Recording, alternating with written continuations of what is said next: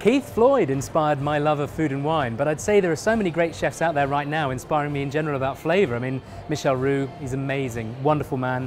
Um, I, I, I, think John Torode is absolutely brilliant. James Martin, he's a mate of mine, but honestly, when I watch him on stage at the BBC Good Food Show, I just don't know how he does it every single time. The dishes look great and they taste amazing.